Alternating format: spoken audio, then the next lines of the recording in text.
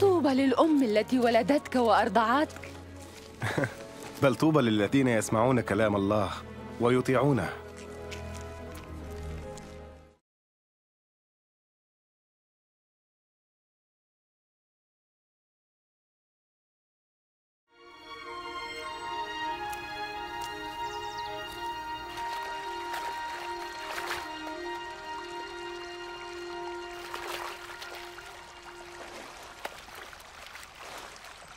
علمنا كيف نصلي كما علم يوحنا تلاميذه.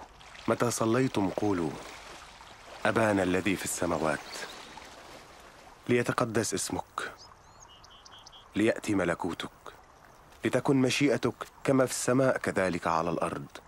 خبزنا كفافنا أعطنا اليوم واغفر لنا خطايانا كما نغفر لمن يذنب إلينا. ولا تدخلنا في تجربة لكن نجنا من الشرير.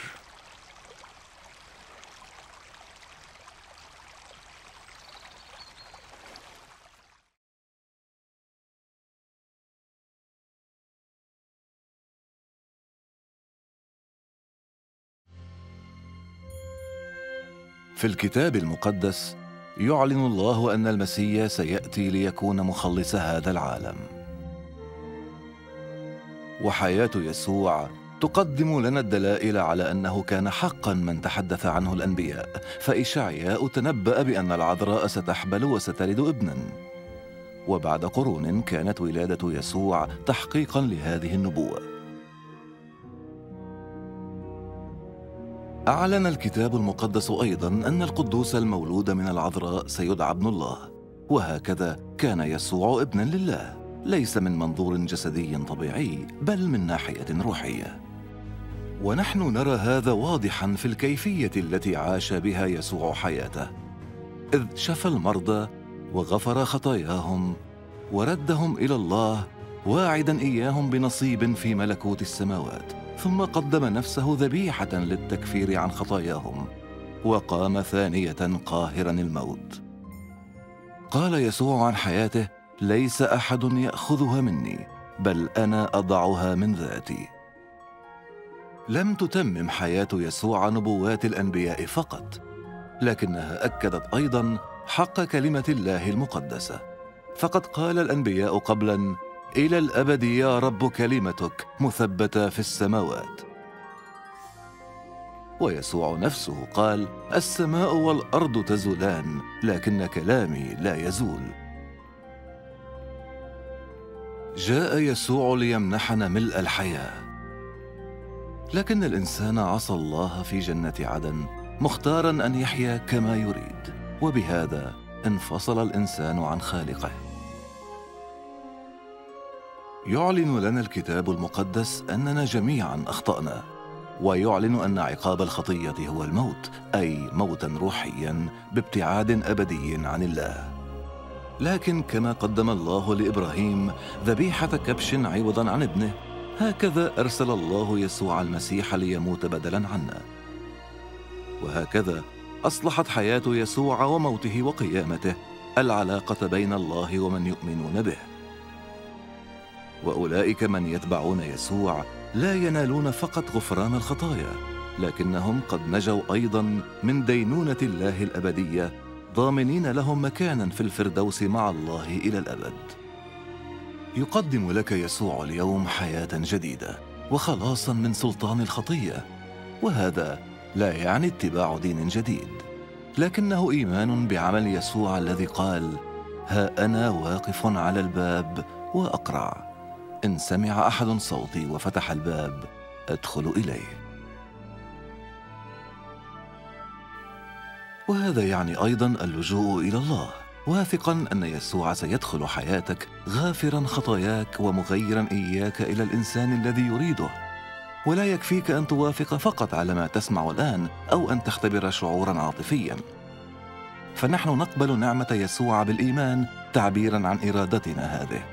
وحين تكون على استعداد لاتباع يسوع المسيح فيمكنك عندها أن تخاطبه شخصيا من خلال صلاة بسيطة. قد ترغب الآن بأن تسلم حياتك لله. إن رغبت بهذا فيمكنك أن تصلي هذه الصلاة بصمت في قلبك.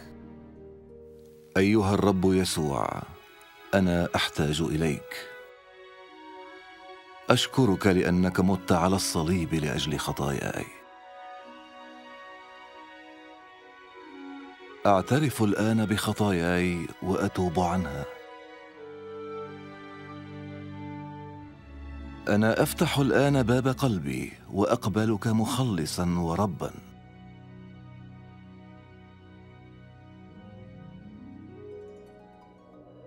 أشكرك لأنك غفرت لي خطاياي ومنحتني حياة أبدية.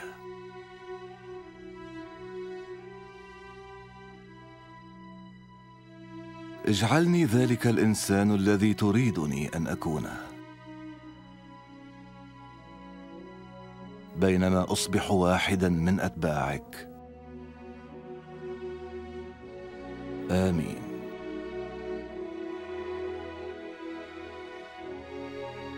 قال يسوع عمن يؤمنون به خرافي تسمع صوتي وأنا أعرفها فتتبعني. لتختبر حياة البركة التي وعدك بها يسوع عليك أن تتحدث إليه في كل يوم بالصلاة وأن تقرأ كلمته. أخبر عما صنعه في حياتك والتقي بآخرين ممن أحبوه وتبعوه. وتذكر وعده الرائع دفع الي كل سلطان في السماء وعلى الارض وها انا معكم كل الايام الى انقضاء الدهر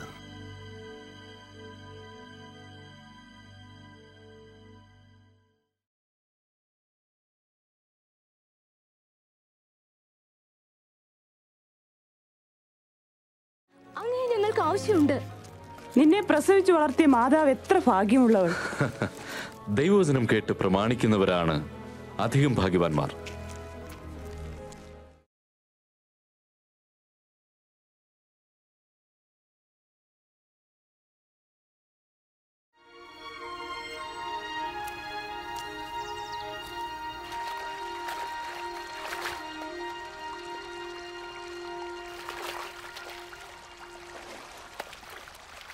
ഗുരു യോഹന്നൻ ശിഷ്യന്മാരെ പഠിപ്പിച്ചതുപോലെ ഞങ്ങളെയും പ്രാർത്ഥിപ്പാൻ പഠിപ്പിക്കണമേ. നിങ്ങൾ ഇങ്ങനെ പ്രാർത്ഥിപ്പിൻ. സ്വർഗസ്ഥനായ ഞങ്ങളുടെ പിതാവേ നിന്റെ നാമം വിശുദ്ധീകരിക്കപ്പെടണമേ. നിന്റെ രാജ്യം വരയണമേ. നിന്റെ ഇഷ്ടം സ്വർഗത്തിലെ പോലെ ഭൂമിയിലുമാകണമേ. ഞങ്ങൾക്ക് ആവശ്യമുള്ള ആഹാരം ദിനംപ്രതി നൽകണമേ. ഞങ്ങളുടെ പാപങ്ങളെ ഞങ്ങളോട് ക്ഷമിക്കണമേ.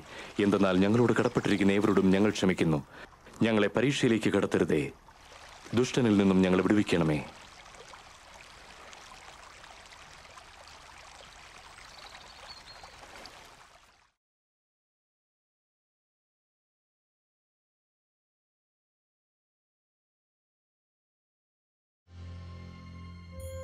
വളരെ പണ്ട് പ്രവാചകർ എഴുതി പാപികളെ നാശത്തിൽ നിന്ന് രക്ഷിച്ച് തന്നിലേക്ക് തിരിച്ചു കൊണ്ടുവരുവാൻ ദൈവം മിശിഹായെ അയക്കുമെന്ന്. ദൈവം അയച്ച ആ രക്ഷകൻ തന്നെയാണ് യേശു എന്നത് അദ്ദേഹത്തിന്റെ ജീവിതം തെളിയിക്കുന്നു. യസയാവു എന്ന പ്രവാചകൻ എഴുതി കന്യക ഗർഭിണിയായി മകനെ പ്രസവിക്കുമെന്ന്. അത് സംഭവിച്ചു. ദൈവത്തിന്റെ ശക്തിയാൽ കന്യകയായ മറിയം ഗർഭം ധരിച്ച് യേശുവിന് ജന്മം നൽകി. വേദപുസ്തകത്തിൽ പറഞ്ഞതുപോലെ അത്ഭുതകരമായ പിറവിയിലൂടെ ആ ശിശു തന്നെയാണ് മിശിക എന്ന് ദൈവം അറിയിക്കുകയായിരുന്നു. ദൈവം അവനാണ് തന്റെ പുത്രൻ എന്ന് പറഞ്ഞു. യേശുവിനെ ദർശിച്ച ലോകർ ദൈവത്തിന്റെ സ്വഭാവവും ശക്തിയും കണ്ടു. അവൻ രോഗങ്ങൾ ശമിപ്പിച്ചു.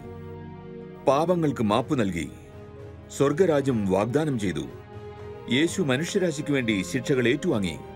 സ്വന്തം ജീവൻ ബലിയർപ്പിച്ചു. പിന്നീട് അദ്ദേഹം ഉയർത്തെഴുന്നേറ്റു. തന്റെ കഴിവുകൾ മരണത്തിന്റെ ശക്തിയേക്കാളും ഉപരിയാണെന്ന് തെളിയിച്ചു. മിസിഹായായി യേശു പറഞ്ഞു എനിക്ക് സ്വന്തം ജീവൻ ഉപേക്ഷിക്കാനും അത് തിരിച്ചെടുക്കാനുമുള്ള കഴിവുകളുണ്ട് എന്ന്. യേശുവിന്റെ ജീവിതം പ്രവാചകരുടെ ലിഖിതങ്ങളെ അന്വർത്ഥങ്ങളാക്കി. ദൈവത്തിന്റെ വിശുദ്ധ വചനം തെറ്റാത്തതും ശാശ്വതവുമാണെന്ന് തെളിയിച്ചു. ദൈവവചനം യേശു തന്നെ യേശുവിലൂടെ ദൈവം ലോകത്തിന്റെ മുന്നിൽ പ്രകാശിക്കുന്നു. യേശുവിന്റെ വരവ് നമ്മുടെ ജീവിതം പരിപൂർണമാക്കാനായിരുന്നു. സൃഷ്ടിയുടെ ആദ്യത്തിൽ ആദ്യ പുരുഷനും സ്ത്രീയും അനുഭവിച്ചിരുന്ന പൂർണത. പക്ഷേ അവർ ദൈവത്തെ അവിശ്വസിച്ചു. അദ്ദേഹത്തിന്റെ കൽപ്പന ലംഘിച്ചു. ലജ്ജാവഹമായ ലംഘനം അവരെ ദൈവത്തിൽ നിന്ന് വേർപെടുത്തി. വേദപുസ്തകങ്ങൾ പറയുന്നു എല്ലാ മനുഷ്യരും പാപം ചെയ്തിരിക്കുന്നു. ആ പാപത്തിന്റെ ഫലമാണ് മരണം. പാപികൾക്ക് ദൈവത്തോടൊപ്പം ജീവിക്കാനാകില്ല.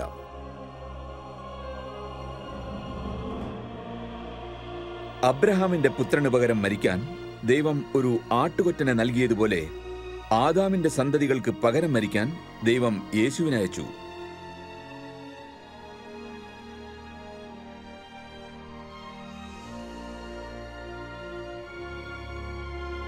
ദൈവം അങ്ങനെ ചെയ്തത് യേശുവിനെ സ്നേഹിക്കുകയും അവനിൽ വിശ്വാസം അർപ്പിക്കുകയും ചെയ്യുന്നവരെ ശിക്ഷിക്കപ്പെടാതിരിക്കാനാണ്.